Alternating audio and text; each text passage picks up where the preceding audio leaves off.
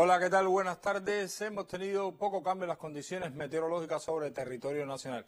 La imagen de satélite no me deja mentir. Fíjense que todavía tenemos humedad sobre el extremo suroccidental de Pinar del Río.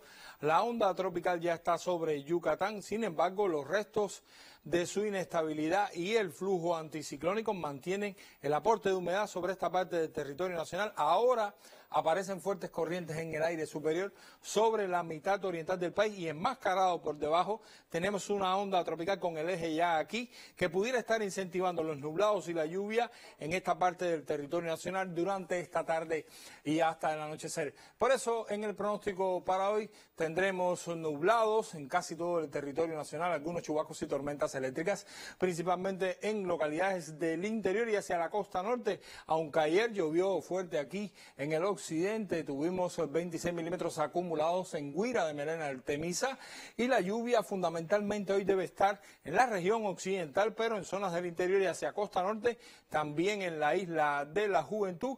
El resto del país, el centro y el oriente, tendrá la mayor parte de los nublados y la lluvia en localidades del interior y sur, extendiéndose hasta las provincias de Granma y Santiago de Cuba. Pudieran ser más numerosas precisamente en las provincias desde Camagüey hasta Granma y Santiago de Cuba. Vamos a tener una tarde-noche con disminución de los nublados en la mitad oriental del país. Los nublados estarán con algunos chubascos todavía, restos de la convención en Granma, y después la mayor parte vendrá hacia el occidente, donde será baja la probabilidad de precipitación. Temperaturas máximas hoy con valores desde 32 hasta 33 grados en el occidente y el centro, superiores en el oriente, claro, pudiera llegar hasta 34 en Granma, y en la noche los valores de temperaturas están sobre los 23, 26 grados Celsius, algún valor superior, pero acá en el occidente, donde debe llegar el flujo de del sudeste en horas de la noche, trayendo algo más de calor y de humedad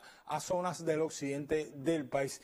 En cuanto a los vientos, bueno, vamos a tener vientos del este durante todo el día, velocidades entre 10 y 25 kilómetros por hora, siempre superiores en zonas de la costa norte durante las rachas, donde vamos a tener poco oleaje en todos nuestros litorales. En resumen, mis amigos, vamos a tener poco cambio en las condiciones meteorológicas. Se mantiene la mayor probabilidad de lluvia en localidades del interior y costa norte occidental, así como en el interior y sur del centro y el oriente del país. Les deseo a todos que tengan una tarde muy feliz, que se cuiden y hasta mañana.